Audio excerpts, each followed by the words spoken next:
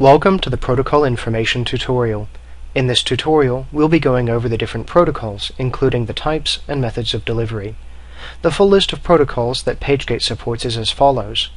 SMTP, SNPP, WCTP, TAP, Tone, GSMAT, Fax, Raw Serial, and Raw TCP.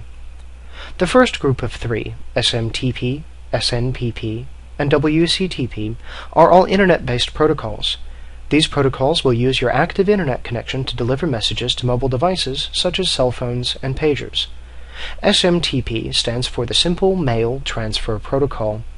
The SMTP protocol is the most widely supported protocol. Almost all North American cell phone and paging providers offer an SMTP host. Unfortunately, due to the nature of the Simple Mail Transfer Protocol, it is also the least reliable method of delivery. For a full list of SMTP hostnames, please click on the highlighted link in your window.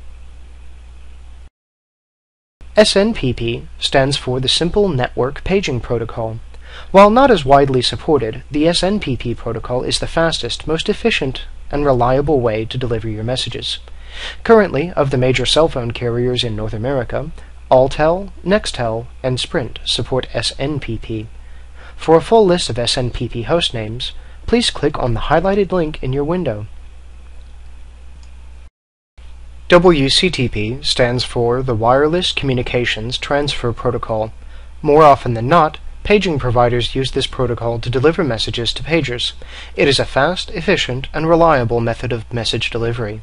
For a full list of WCTP hostnames, please click on the highlighted link in your window. The next two protocols, TAP and TONE, are dialing-based protocols. Each of these protocols requires that you have a dial-up modem in your computer. These protocols use your modem to dial into a carrier's paging terminal to deliver the messages. TAP stands for the Telocator Alphanumeric Protocol and is the oldest, most widely supported protocol. With a few notable exceptions, such as T-Mobile, all major carriers support this protocol.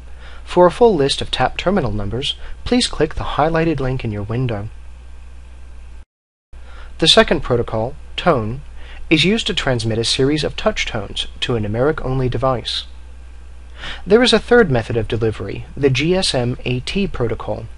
This protocol requires a special piece of hardware called a cellular modem to be connected to your computer.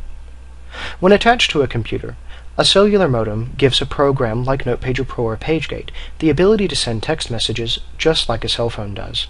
This removes the need to know the carrier for the devices you wish to reach. The fax protocol allows PageGate to send a facsimile transmission, just like a fax machine.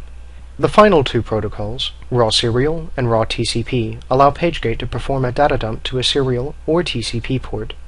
This concludes the protocol information tutorial. For more information, including other tutorials, please visit our website, www.notepage.net.